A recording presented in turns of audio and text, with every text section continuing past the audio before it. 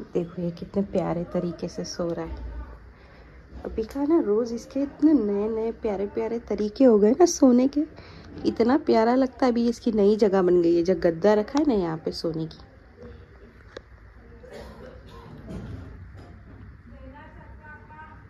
कैसा सो रहा है? कुकू? बोलो मेरा बच्चा कैसा सो रहा है तू। ऐसे कौन सोता है?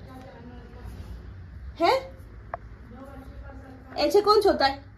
तू छोता है। सो जा। छोली, सो जा। वापस सो जा।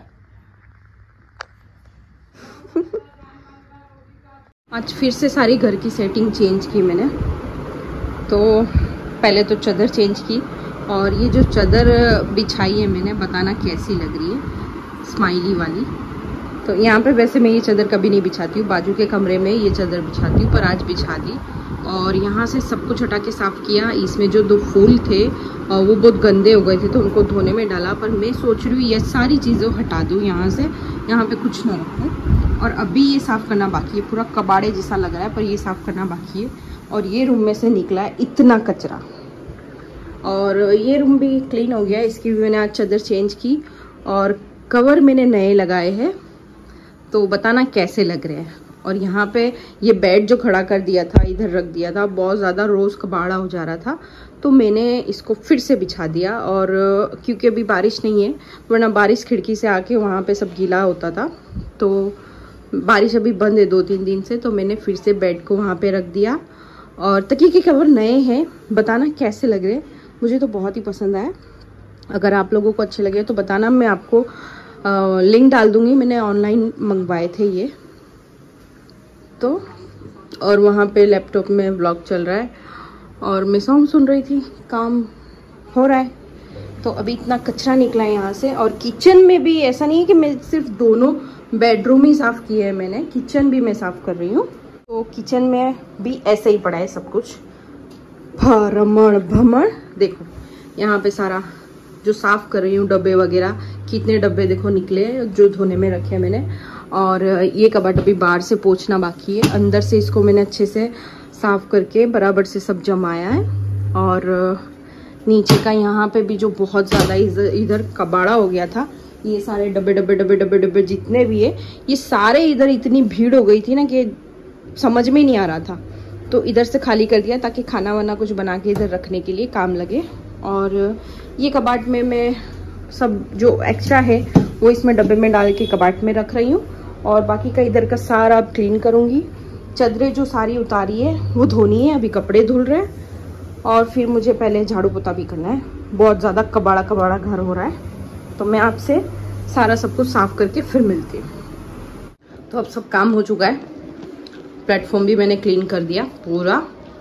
और यहाँ पे क्लीन किया था। पर इसमें से ये डब्बे हैं जो काम के हैं, उसको मैं कबट में रख दूँगी नीचे। नारियल पानी, बस ये पूरा क्लीन ही है। बस थोड़ी बहुत चीज़ें, क्योंकि मैंने प्लेटफॉर्म धोया तो यहाँ से हटा के यहाँ पे रखी थी, उसको भी हटा दूँगी। बाकी सब क्लीन हो गया, पूरा घर। और तो सब कुछ क्लीन हो चुका है।